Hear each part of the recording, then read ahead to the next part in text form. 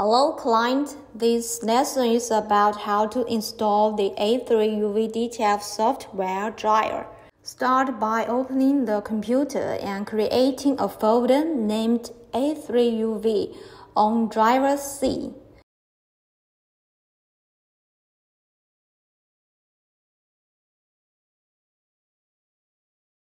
Okay, so once you create a new folder, minimize it Open Windows Security Center.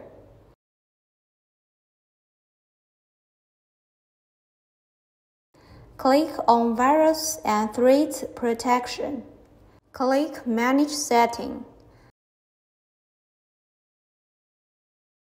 Click Add or Remove Exclusion Item.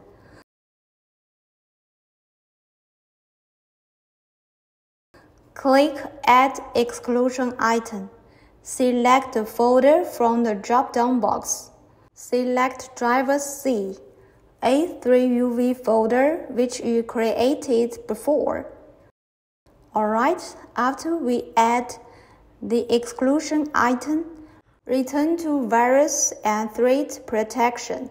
There is a Management Ransomware Protection.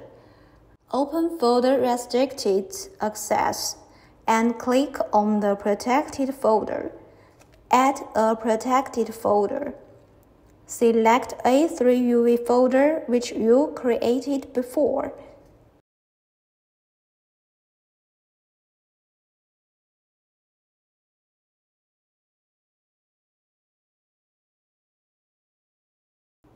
So once you have done these two steps, Copy the data in the USB disk to the folder A3UV.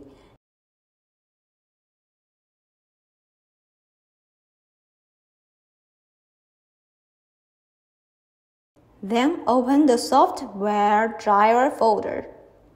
Now you can see that the VRIP is the compression package of printing software.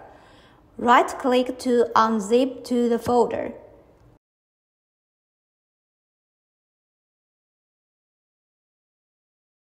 Open the unzipped folder. Click the USB device and double-click to install.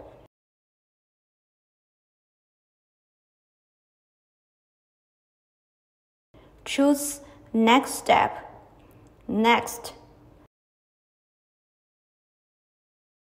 Install. Finish. Finish. After that return to the preview level.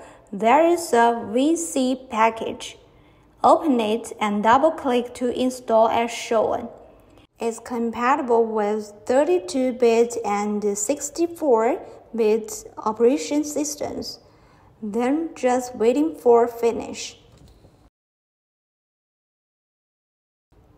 Back to the preview folder after it finished. Look for the VRIP application. Double click to open it. Click Allow. After completing the installation, go back to the preview folder. Then right click VRIP to send desktop shortcut. The software can be opened normally. Next, we will test the machine printing.